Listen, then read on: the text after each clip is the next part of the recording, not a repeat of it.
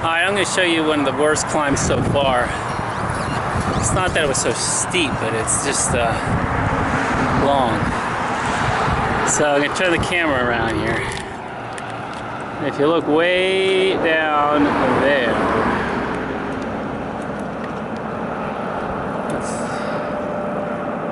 that might be the uh,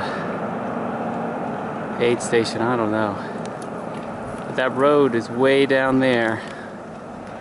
And that road comes all the way up there. Through those trees, through those cars. And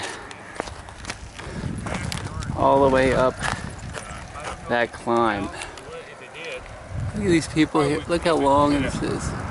Like a sliding glass door. Oh. That was a long climb. But hopefully it's over. We uh, get some downhill. I hope. See ya.